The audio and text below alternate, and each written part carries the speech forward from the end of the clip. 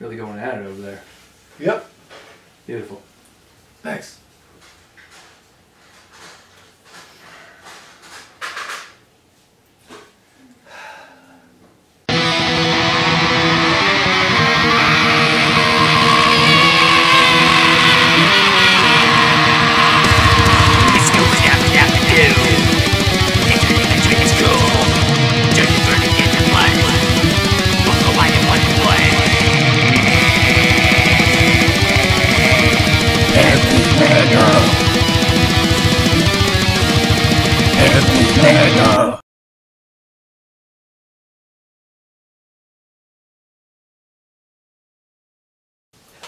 So, Venenum is a German progressive death metal group, uh, and this is their actual full length. They haven't had anything out before this except for a mini album uh, that was a self titled release. Um, very straightforward compared to this. Somewhere along the line, though, they uh, did a tour with Horrendous and started releasing a couple songs here and there, and now we have Trance of Death, which is this CD just came out this year, um, and it's a, a real monster of an album. Uh, a lot of new elements to their sound that they really haven't put together before. Uh, it has a lot to do with that aforementioned band Horrendous, actually. A lot of the same psych and prog elements. Um, so how does it pan out? Uh, well, we don't have a whole lot to say about it, but what we do have to say is fairly positive. But we'll get to that later. Uh, so, the, the kind of the big first thing here, we'll get the shit out of the way first. Um, Eric, did you have any complaints? Really, all I can complain about is that some of the transitions and some of the songwriting isn't as smooth as it could be. Yeah, the songs are generally pretty lengthy, especially the last song at 14, at 14 minutes. But other than that, other than there not being enough solos, and that's a personal taste for me, it's more of an atmospheric album, so it's not a big deal Right. in the grand scheme of things. But I could have used some more solos.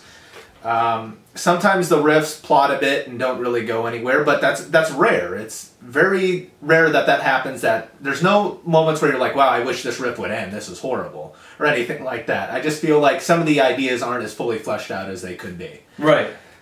That's really all I have to say negative about it. Um, do you have anything, Dad? Yeah, there's not a whole lot I really have to complain about. I will say that I feel like the first four tracks uh, don't really compare to the last three tracks, the actual Trance of Death tracks, part one, two, and three. Um, and that's not really a bad thing. I feel like you're graduating from like an 8 out of 10 to a 9 out of 10.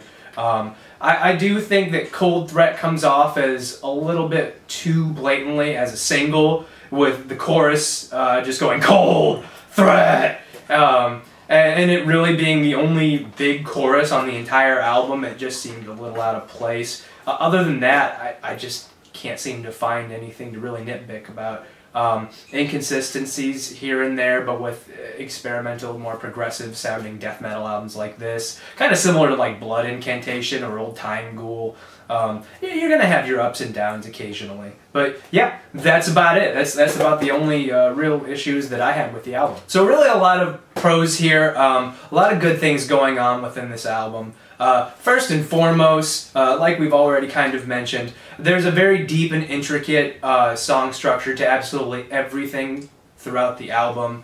Um, first four tracks maybe uh, a little more streamlined than the uh, last three tracks, but really you've got progressive rock, psychedelic rock, um, black and death, uh, standard black metal, as well as a lot of symphonic elements, uh, a lot of keyboard going on here uh, in different capacities. Uh, lots of tremolo, of course, uh, and this deep chasmous production that really brings it all together perfectly. Yeah, let's talk about the production. Oh, yeah, more, definitely. That's something that really, really impressed me. I, I listened to it on high-end headphones, and a, a lot of death metal just doesn't translate well to that. You can pick out all the imperfections and all the bad mixing, and this is one of the better produced albums I've heard recently. It has the perfect Oh, yeah. amount of murk for the atmosphere they're trying to convey. It really does. the bass presence is amazing, especially for a black death metal. Oh yeah, it's impeccable. It Exactly. really. An atmospheric black and death metal type album. I was really, really impressed by that. Oh yeah, definitely. Uh, the vocals are really mixed well as well.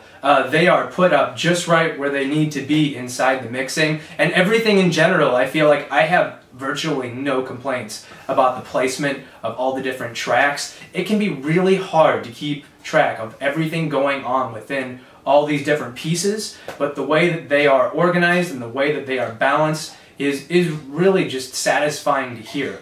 Um, from start to end, you really feel like uh, there is a sense of direction. There is a sense of uh, organic songwriting, really. Uh, so yeah, I'm really impressed with how that's been laid out, all that production. Um, really good stuff. So all in all, the production is very sound. I, Oh, yeah. I wouldn't Okay. change anything about it. and kind of moving into the concept, which really stacks on that. Um, really, all you have to do is look at some of the reading materials behind the album's concept, and you'll see a lot about death, uh, the formation from life into death, as well as the killing blow. The first four tracks uh, were actually about the the death, the, the murder of it. You've got Cold Threat. You've got the first three tracks before that, which are also you know about you know just eating shit in general, and you've got a lot of movements in there that really really set the tone. A lot of really heavy aggressive riffs. Uh, that really transition into the last three tracks, which have a lot more of a almost like an opera feel to it, more like movements where you got a lot more of the psychedelic progressive elements. Uh, you've really got a, a slower pace, but a lot more breathing room. Uh, I think the atmosphere is really cranked up to 11 a lot of the times. And that's what's kind of so interesting about it is it feels like there are two completely different tones that work really well in harmony together. Um, and it really leads to a really challenging but interesting concept for a CD. I'm actually really impressed with the way that it ebbs and flows throughout, and it keeps you interested as well. I feel like there's not one particular part in this album that I don't feel at least marginally entertained. So, Yeah, even the worst tracks on the album are still excellent tracks. oh yeah, there's so much going on there. I would say the last five tracks, the Trance of Death trilogy, are noticeably better. That's not to say the first half of the album is bad. Oh yeah, no. But this the second half really drives it home, as you were saying, in Oh, the way of atmosphere and compositionally they're more interesting. There's a lot of build up. They're very climactic. Definitely, yeah. Yeah, there's a lot of progressive rock riffs. There's a lot of keyboard going on. There's a lot more experimental uh, songwriting in the second half of the album as well, which I think really just serves as a basis for climax, climax, and climax all the way to the end of the album. And the really interesting part about it is that the beginning of the CD uh, actually is a violin passage with a very distinct riff and the last track on the CD is a tremolo riff that is actually playing that exact same violin passage. And the way that it loops is an interesting, uh, is kind of an interesting speak on life and death and how they kind of correlate, how they circle around. Uh, it really ties into the concept so well. When the songwriting it really ties into the concept of the album, and you have a complete package like that, you really have a one-two punch that really nothing this year can really come close to. I think, anyways. Um, so, is there anything else that you'd like to talk to within the album? Well, I feel like I should mention the drumming on this album. Definitely. I, I can't really mention the other instrument playing. It's serviceable, not bad, but the album isn't about being showy, so there isn't a ton to say about the guitar work, the bass work. It's all well produced, it all does its job. But the drumming, I think, is very, very good. Oh, yeah. The drummer could have easily fallen into the trap that a lot of atmospheric black and death metal falls into, where the drumming is the same pace, Monotonous. the same monotonous blasting over the course of an album and there's none of that on here No. his drumming is incredibly varied it fits the whole progressive nature of the album Oh, yeah. and good stuff by that guy Oh yeah, totally agree. He feels more like a progressive rock drummer, progressive metal drummer, and he does like a black metal drummer. And I have to hand it to the entire group for feeling less like a straight black metal group and more like a group that's looking to push the boundaries on what is and isn't considered uh, acceptable within the extreme metal genre. Um, I think myself, I'd give it a nine. I think it's excellent and one of the best albums of the year so far. Eric.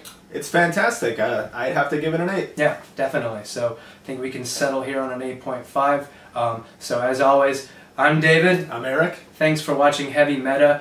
Stay tuned for much more dumb ass shit in the future.